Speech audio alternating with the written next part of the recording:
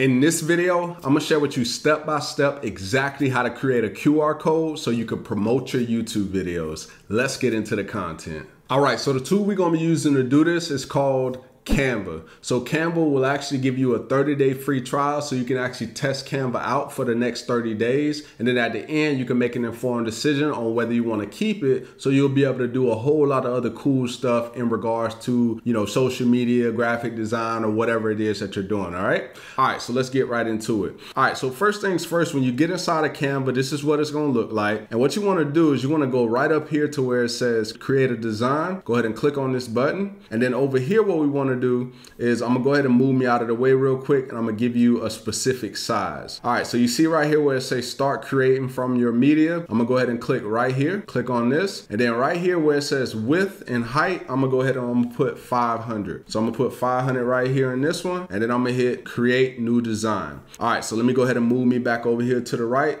Okay, so now we're gonna get into how do we actually get the QR code. All right, so right over here, you got a whole bunch of different tabs, but what you might have to do if you don't see it immediately is you wanna scroll all the way down here where it says apps, all right? So I'm gonna click on apps, and then inside of here, all you gotta do is you just gotta type in QR code. So I'm gonna type QR, and then when I do that, you see how it says QR code? I'm gonna click on that, and then right here, as you can see, there's the app right there, right? So what you wanna do is you wanna click on that, right? I already have have it, so it's gonna just take me to it. But for you, you would actually want to click on it and then go ahead and just add that app, and then I'll show you where it'll be at. So once you add it down here, you're gonna see all these apps. You see how mine just shows up right there? That's how you will want it to look. All right, so since we're here now, this is where you will wanna put your URL in here, and I'm gonna walk you through the other steps here in a minute. So I'm gonna just go ahead and grab a URL. Let me go ahead and grab my channel URL. So if I was promoting my channel on like, maybe I was promoting it on like a mug or I was promoting it on like a merch or a hat or whatever it is, then I can literally just make sure I get the right printing paper and then put that on my shirt or whatever it is that I want to put it on. All right. All right. So I'm going to go ahead and I'm going to copy this link. I'm going to go over here, paste my channel URL right in here. And then you can see it says customize. So you could do like color customization, foreground or margin. You could play with a lot of that stuff, but I feel like the, the simplest thing is to just keep it white and black because that's what people know anyway, right? It's all about simplicity. All right, so from here, I'm gonna go ahead and I'm gonna hit generate code.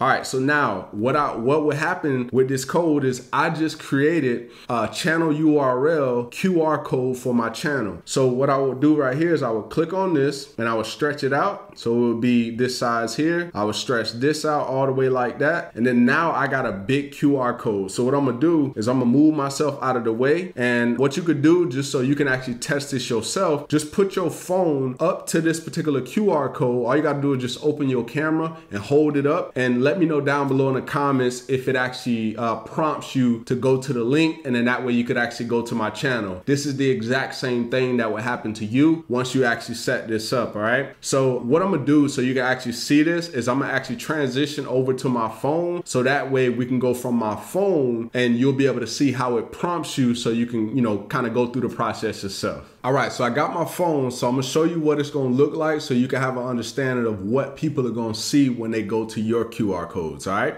All right, so I'm gonna go ahead and uh, get my camera ready and then I'm gonna show you here on the screen. So you should be able to see what I see over here, right? So you can see my computer screen. But what I'm gonna do is I'm gonna put my camera up to this real quick and it should prompt me in a second. Okay, so now I'm gonna switch back over.